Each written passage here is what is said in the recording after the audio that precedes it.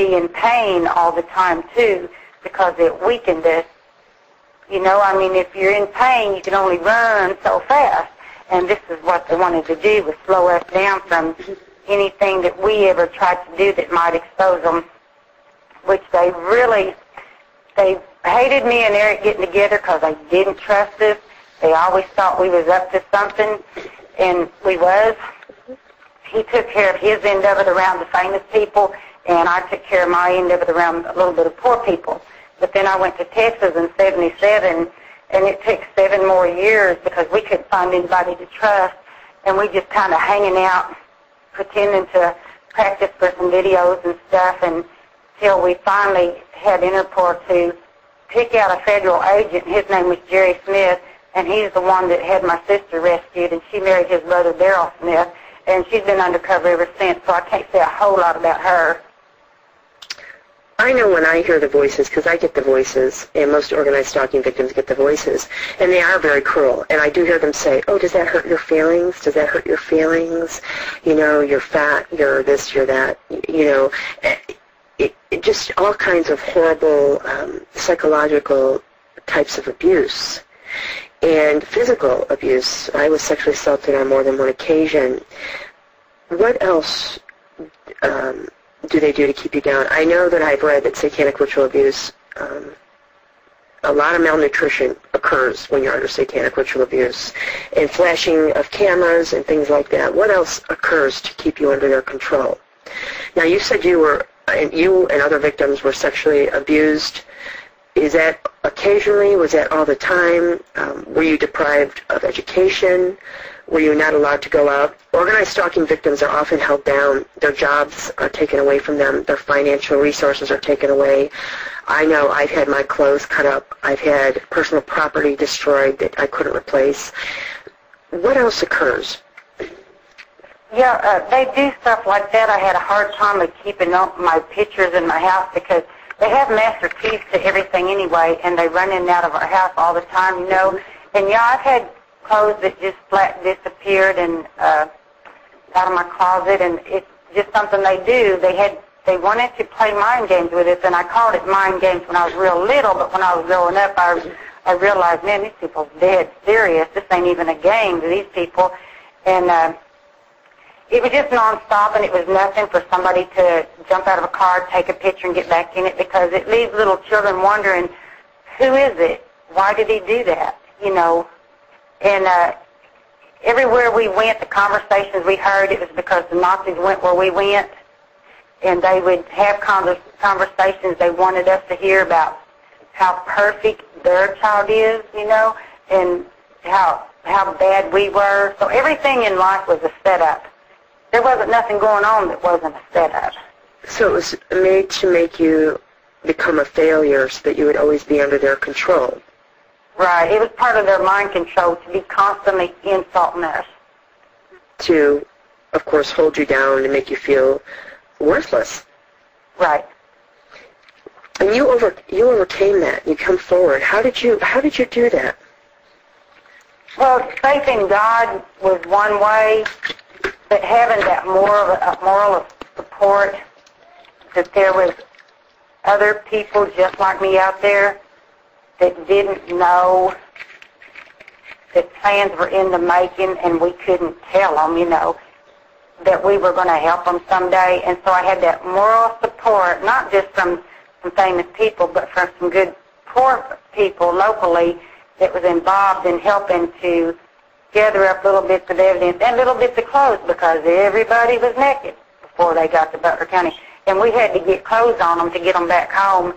And uh, when I lived there where the mass grave was, my first, my, the first driver that would take people down the road a little bit was named Anna Mann. Anna had a son that was put in the state hospital up here in St. Francois County, which we always heard they experiment with people. I don't know much about it but it got sent to Joplin as far as I know. But her son was sent there for life because he fired a shot at, at squad car. Gee, everybody wanted to kill them cops for what they were involved in. You know, we didn't see no big deal about that. Why put a kid away for the rest of his life over it? But uh, she was my first driver, and the, the reason she was willing to be the driver and get people down the road just a little bit to the second driver is because she wanted revenge for what happened to her son. What happened to her son? They they put him away for life because he fired a shot or shots at a, a squad car. Well, I think he was a teenager when that happened. His name is Mans, is all I know.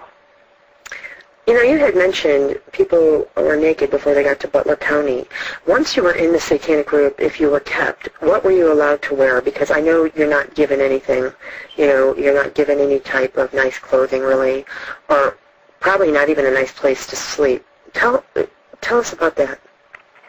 The clothes that were given to me was because Helen's mother was a maid, and people give her stuff all the time, you know and it's a good thing they did because that was my clothes. And things didn't have to fit right as long as I had something to wear. And so I learned to sew, like hand sew when I was real young, and, and I liked it. And I sew on buttons, and I fixed up everything the best I could. But uh, my clothes would get ripped up, and they'd be thrown in the bottom of the closet, and you know, and it's just something they did to me to let me know that I didn't need something clean. I actually daydreamed about smelling like baby powder because I was I actually was just, you know, a dirty kid for a big part of my life. And uh, it was nothing for one of them to walk by me and grab a handful of hair and chop it off. So most of my school pictures, my hair was pretty obviously gappy. Yeah, I know at my uh, my gang assault that my hair they did chop a huge piece of my hair off, and at the time I didn't realize I I don't think I I knew I was dealing with evil, but I had no idea that I was dealing with people who are Satanists and who are trying to run this country into the ground, you know, and they had always mentioned, and in the voices they always talk about, you know, through voice to skull or microwave hearing, they always talk about we like people who are filthy, you know, we don't want you to clean the house, um, wear your filthy clothes, don't take a shower. Um, I guess this is all done uh, mind control to get you to feel even more worthless, right? Right. They they want you to feel worthless. Yeah. We were always told we don't deserve nothing. We were undernourished. We never had proper food. But I lived with drug addicts. They didn't care if there was food in the house. They didn't care if there were shoes on our feet. They didn't care if there was wood for the old wood stove. They didn't care if there was medicine. They were not real parents. We were of no value whatsoever. A child never is to them. They are sexual objects. You either enjoy them for your own pleasure or you make some money off of them in porn or prostitution until they die. But they have no value. They're just kids. And that's what they call it, kids. So there is no value in in in children with Satanists, as we all know, they do murder children. If a Satanist couldn't sell one of you into prostitution or make money off of you, what would have happened to a child? Would they have been shipped out, returned to their home, or would they have been killed? What what would happen?